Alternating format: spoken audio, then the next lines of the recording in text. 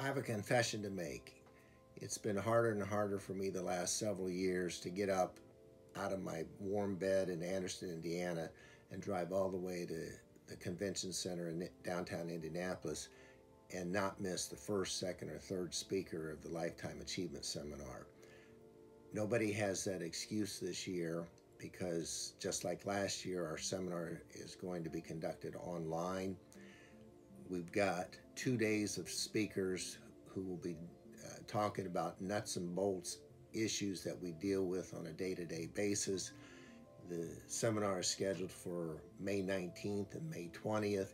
If you haven't registered, please do so. It will benefit your practice, it will benefit your clients, and it will benefit your bottom line. The link to register can be found at the bottom of this email.